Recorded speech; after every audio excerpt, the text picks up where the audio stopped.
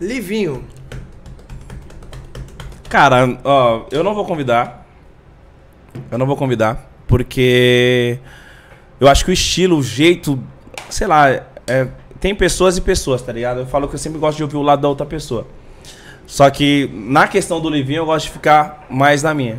É mais fácil ele ficar lá no, na- no lado dele, ficar do- no meu lado, até pelo jeito de ele lidar com as coisas, pelas coisas que eu já ouvi, por todo mundo é, dizer a mesma parada, tá ligado? Tipo, Às vezes você pessoa- acaba acreditando. Aí não tem como, viado. Tipo, não Todo tem como. fala a não tem, coisa? não, não tem como, viado. Não tem como. Tipo, isso não é de hoje. É de lá de trás, tá ligado? Desde quando começou o funk.